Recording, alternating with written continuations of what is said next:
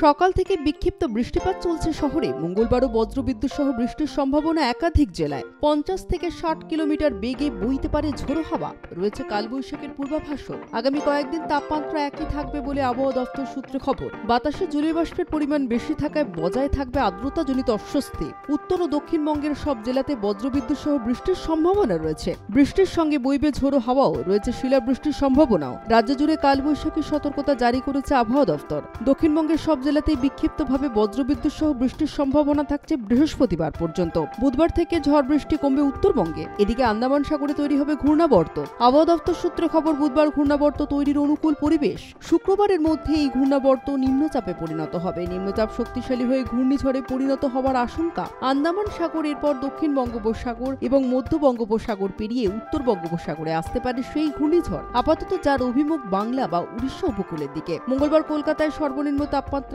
সাতাশ দশমিক চার ডিগ্রি সেলসিয়াস। সোমবার সর্বোচ্চ তাপমাত্রা ছিল তেত্রিশ দশমিক আট ডিগ্রি সেলসিয়াস। বাতাসের জলীয় বাষ্পের সর্বোচ্চ পরিমাণ বিরানব্বই শতাংশ।